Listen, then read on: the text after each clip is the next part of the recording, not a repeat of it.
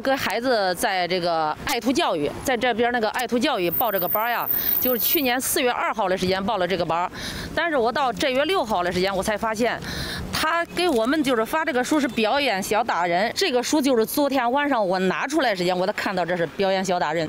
他之前都没注意过呀。我我我我一直没看，可能我这人太大意了。王女士说，去年四月份，她给孩子报了郑州爱图教育的英语班，一共一百二十节课。可最近才发现，这一年间孩子一共上了五十七节课，可上的这些课却并非英语课。孩子回家也嘟囔过好几次，我没当真。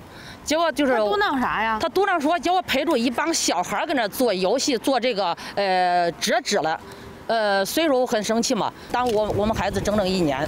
王女士说自己平常比较忙，所以对于孩子的抱怨，她并没有太在意，现在也很是自责。那对于上错课这一问题，郑州爱图教育的相关负责人又会怎么解释呢？呃，当时他给我说的是给同步给孩子就是同步教育，就是一个班级的都是一个级别的，就是一个年级级别的孩子，从年龄上去进行分班。我们一直都没有这样承诺过。年龄它是一个客观的东西。我们在开班家长会的时候，给家长所有的家长在一起明确的讲述了我们的上课内容是什么，让每个孩子做了自我介绍。你当时如果给我这样说的时间，我当时都不会交这个钱，我都不会报。你们说白了就是欺骗我。但是我们在家长会上会跟家长说，请学习负责人来参加。当时应该是妈妈没空，然后呢姐姐来了。郑州爱图教育的这位负责人说，上课内容在开课之初已经明确告知孩子家长了。王女士不知情，很可能是他们家庭内部成员没有沟通到位。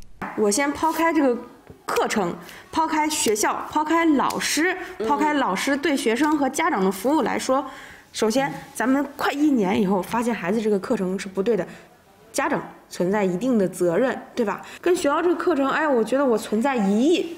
你及时提出，可能我们会减少很多的损失。那老师这边呢，可能他表达的有些东西会让家长觉得我的孩子在这边是以提高为目的的学习。那我们在这方面以后可能要更严谨、更明确的给家长去告知。既然都存在责任，咱们就各退一步。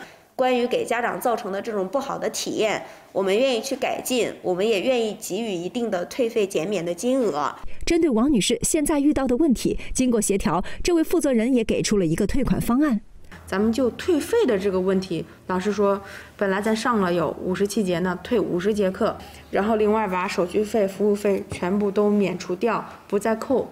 对，嗯，因为给家长造成了不好的服务体验，所以呢。我们也跟校方去申请了，可以把百分之五的服务费给家长免除掉。对于这一方案，王女士并不认同。她觉得，迄今为止，孩子在这儿已经上了五十七节课了，而如果校方只给算五十节课，也就是仅仅免了他们七节课，补偿力度太小。这一年当中啊，也耽误孩子了，我心里不甘心，给家里人商量一下再说。